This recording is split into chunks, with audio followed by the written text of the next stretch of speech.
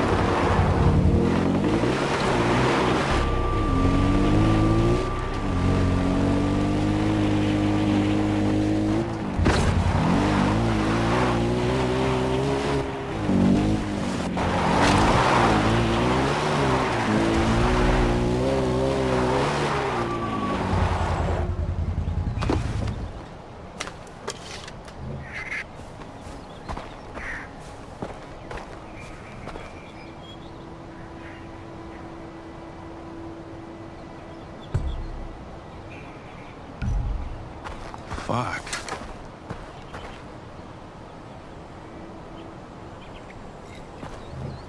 Uh, Amita sent me over. She said you might have some kind of wild animal problem.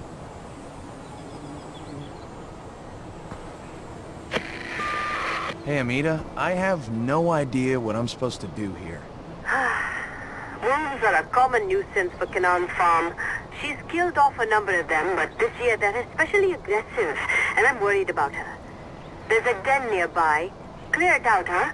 I think Kanan has supplies stockpiled somewhere on her farm that you can use. And Ajay, skin your kills. We can always use the pelts.